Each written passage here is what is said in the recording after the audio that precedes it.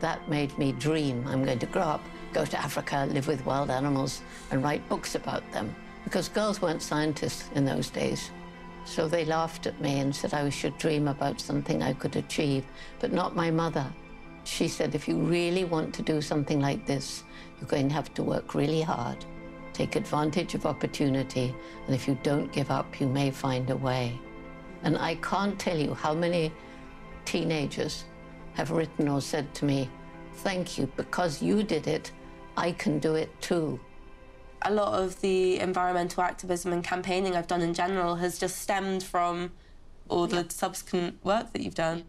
Are there lessons you think that we should be learning from all the decades that you spent observing, you know, chimpanzees, as well as trying to help protect the animals and their habitats?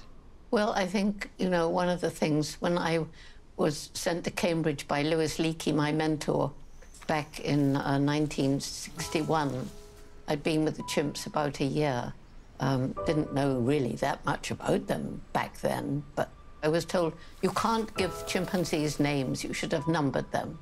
Uh, that's more scientific. And you can't talk about their personalities, their minds, or their emotions. Those are unique to humans.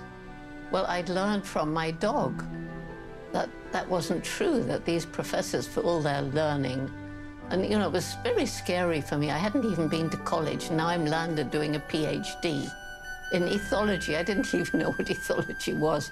And so gradually, because of my careful notes, because of Hugo's film documentaries that started going around, what we've learned, I think, is that the biggest difference between us and our closest relatives with whom we share so much behavior, it's the explosive development of our intellect. But animals are way, way, way more intelligent than we ever used to think. Mm. Mya-Rose, you were, I think, a birder, weren't you? Like, you grew up in nature. My parents are both bird watchers, so I was literally, I was nine days old. The first time they took me bird watching has always been something that I've done and I've loved. Can you see its bell? Yes. Colour's that? Bright orange. They're really beautiful and they're really easy to see and they are everywhere, whether you are in a really rural area or a really urban area. You need patience and good eyesight. Ridiculous optimism. What's that? Being very hopeful. It's probably right. I spotted it!